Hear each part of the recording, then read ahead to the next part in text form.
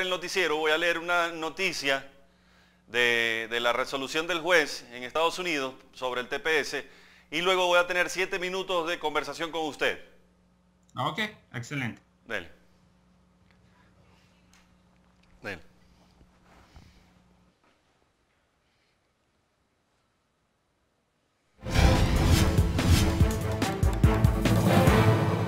Amigos, bienvenidos a una nueva entrega informativa de C24 Noticias. Acá en el Centro Internacional de Noticias tenemos ya todo listo para presentarles las informaciones más importantes de Centroamérica y el mundo a esta hora. Yo soy Gustavo Velasco y así comenzamos contándoles que un juez en Estados Unidos ha prohibido al gobierno de Donald Trump poner fin al TPS que permite que inmigrantes de cuatro países, incluidos Nicaragua y El Salvador y Honduras, vivan y trabajen legalmente en la nación norteamericana, ya que hacerlo o de hacerlo, el juez considera que causaría daños irreparables y enormes dificultades. Veamos.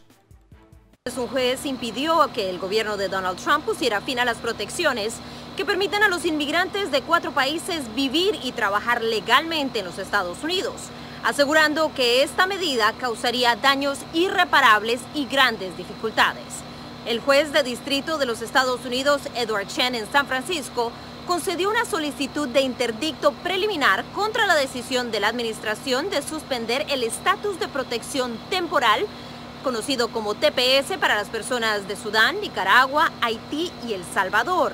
El Estado se otorga a los países asolados por desastres naturales o guerra y permite que los ciudadanos de esos países permanezcan en los Estados Unidos hasta que la situación mejore en casa. Cerca de 300.000 personas han recibido esas protecciones.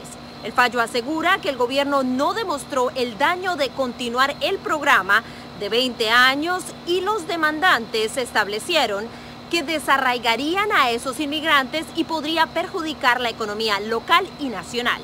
Los beneficiarios que han vivido, trabajado y criado familias en los Estados Unidos, muchos de ellos por más de una década, estarán sujetos a ser removidos, escribió Chen Muchos tienen hijos que nacieron en los Estados Unidos y pueden enfrentar la opción de traer a sus hijos con ellos y separarlos del único país y comunidad que han conocido o separar a sus familias, dijo el fallo.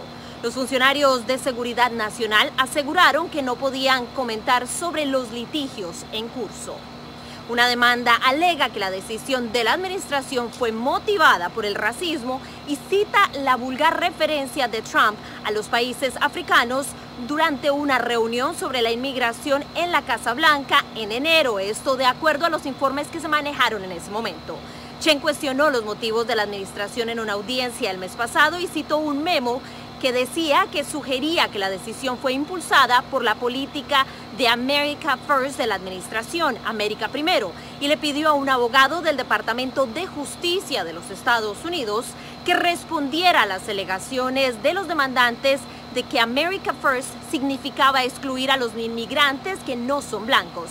Adam Kirchner, un abogado del gobierno, dijo que el memorando mostraba a la entonces secretaria interina de Seguridad Nacional, Elaine Duke, lidiando con qué hacer con respecto al estado de protección temporal. Kirchner dijo que se esperaba la opinión de la Casa Blanca sobre un tema como este, pero la decisión final fue de Duke. Chen repitió el comentario vulgar de Trump sobre los países africanos mientras respondía que cualquier influencia que la Casa Blanca tuviera sobre Duke podría ser relevante para las afirmaciones de que los movimientos de la administración eran discriminatorios. El Salvador fue designado para el programa en 2001 después de un terremoto y el estado del país se renovó repetidamente. La administración Trump anunció en enero que el programa expiraría para El Salvador en septiembre de 2019.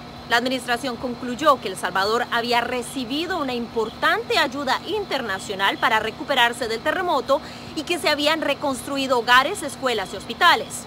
La administración Trump también terminó el programa para los otros tres países. Según los demandantes en esta demanda, más de 200.000 inmigrantes podrían enfrentar la deportación debido al cambio y tienen más de 200.000 niños estadounidenses que corren el riesgo de ser desarraigados de sus comunidades y escuelas.